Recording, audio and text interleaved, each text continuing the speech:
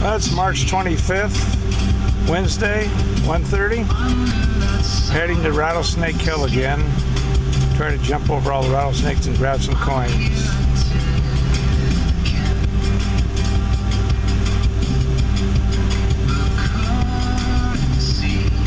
Hey Robert Ferguson, I left you some messages, uh, uh, one on your answer machine, one on the YouTube.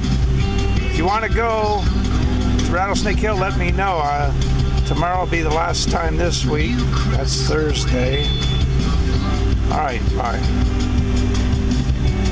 One was a, was a few inches down. I kept digging and digging and digging and couldn't find it even with a pinpointer.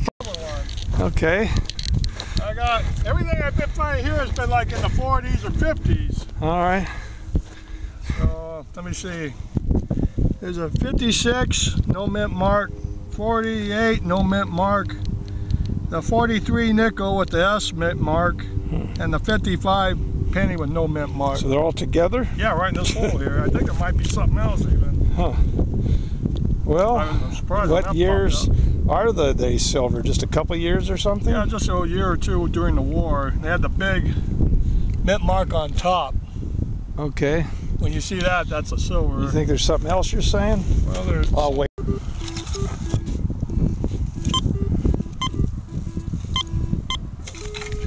Something with that little piece of wood there.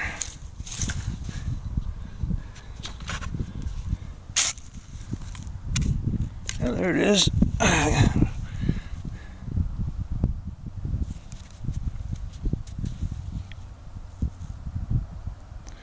1936 Wheatie.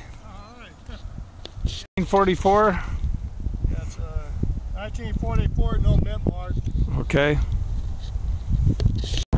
Well, I got this nice large penny.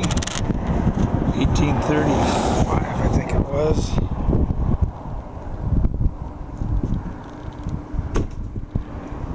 It's either 35 or 37. And the three pennies. Ah, another one all of a sudden. Okay. This getting a nickel reading was right up against a rock.